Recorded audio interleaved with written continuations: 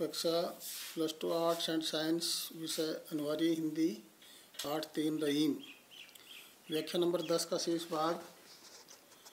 उसकी घोर उपेक्षा की जाती है, जिस प्रकार से दूल्हे के सिर पर शादी के समय मोर को ही धारण किया जाता है। विवाह के समय उसे बड़ा सम्मान दिया जाता है।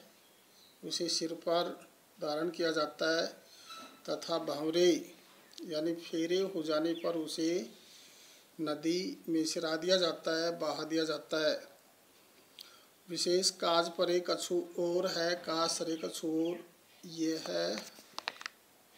एक कठोर सच्चाई है, सुखी रहना है तो किसी की अधिक उपेक्षा मत करो, अन्यथा हृदय को धक्का लगेगा। दूसरा, साहित्यिक ब्रजभाषा प्रयुक्त हुई है। तीसरा, व्यंग्यात्मक शैली और नीति की व्यवहारिक शिक्षा देने वाली है।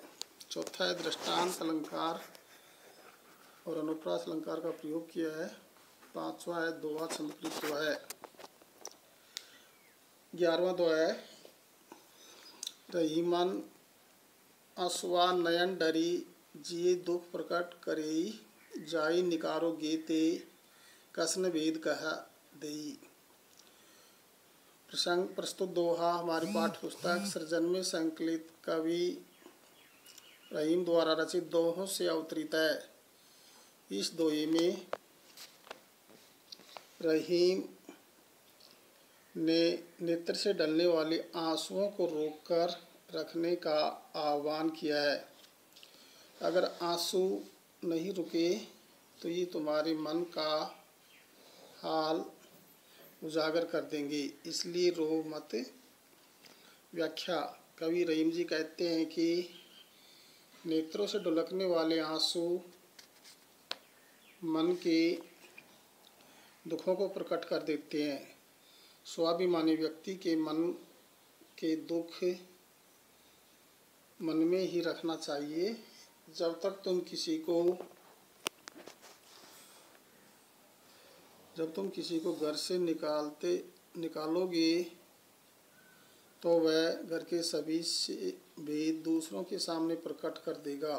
इसलिए रोना नहीं चाहिए, दुख के समय को धैर्य धारण करके बिताना चाहिए। विशेष कवि ने अपने मन का दुख मन में ही छिपाकर रखने का परामर्श दिया है।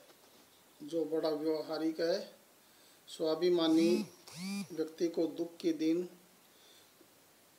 गंभीरता और धैर्य के साथ चुपचाप बिता लेने चाहिए। दूसरा सरल ब्रज भाषा का प्रयोग हुआ है और शब्द चयन भावों के अनुकूल है। कथन शैली परामर्श परक है। चौथा है दोहा छंद प्रयुक्त हुआ है। पांचवा अनुप्रार और दृष्टांत अलंकार प्रयुक्त हुए हैं। बारवा दोहा है, रहीमन निजमन की विथा मन ही राखो गोई। सुनी आठी ले हैं लोग सब, पाटन ले है कोई। प्रसंग प्रस्तुत दोहा, हमारी पाठ्य पुस्तक सृजन में संकलित कवि, रहीम द्वारा रचित दोहों से अवतरित है। कवि ने बताया है कि अपने मन की व्यथा को मन में ही छिपाकर रखना बुद्धिमानी है। किसी के सामने प्रकट नहीं करनी चाहिए। व्याख्या रहीम जी कहते हैं कि अपने मन के दुख को मन में ही छिपा कर रखना चाहिए। इसी में बुद्धिमानी है यदि उसे दूसरों के सामने प्रकट करोगे तो सच्ची सहानुभूति प्रकट करने वाला वाले कम तथा उसकी हँसी उड़ाने वाले अधिक लोग मिलेंगे इससे आपका मन और अधिक दुखी हो जाएगा। विशेष पहला, घर की बात घर में ही रही। उपहास का कारण न बने, इसके लिए सावधानी रखनी चाहिए। घर के सभी सदस्यों को सम्मान और आकांक्षाओं को उचित समर्थन और आदर दिया जाना चाहिए। ये संदेश व्यक्त हुआ है। दूसरा ब्रजभाषा का प्रयोग, तीसरा दोहा छंद प्रयुक्त हुआ है, चौथा अनुप्रास और दृष्टांत अलंकार, पांचवा उपदेशात्मक शैली। तेरवा दीन सबन को लखन है, दीन ही लखिन कोई जो रहीम, दीन ही लखे दीन बंधु समोई प्रसंग प्रस्तुत दोहा हमारी पाठ्य पुस्तक सृजन में संकलित कवि रहीम द्वारा रचित दोहों से अवतरित है। इस दोहे में कवि रहीम ने दिनों की सहायता करने वाले को दीन बंधु भगवान के समान माना है। व्याख्या, कवि रहीम जी कहते हैं कि दीन व्यक्ति सहायता के लिए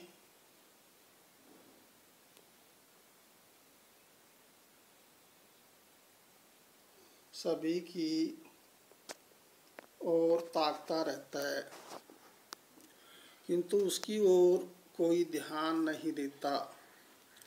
जो व्यक्ति दीनों की सहायता करता है, उसे दीन बंधु ईश्वर के समान ही समझना चाहिए। दूसरा है जिसका सहायक या रक्षक कोई नहीं हो, भगवान स्वयं उसकी सहायता करते हैं। अतः दिनों की रक्षा और सहायता करने वाला मनुष्य ईश्वर के तुल्य सम्मानीय होता है। कवि का यही संदेश है। अभिव्यक्त हुआ है। तीसरा कवि ने दीन और निर्बलों की सहायता करने का तथा गुणी बनने का संदेश दिया है। शैली भावात्मक प्रयुक्त हुई है। पांचवा ब्रजभाषा का प्रयोग हुआ है। छठा, दुआ छंद प्रयुक्त हुआ है।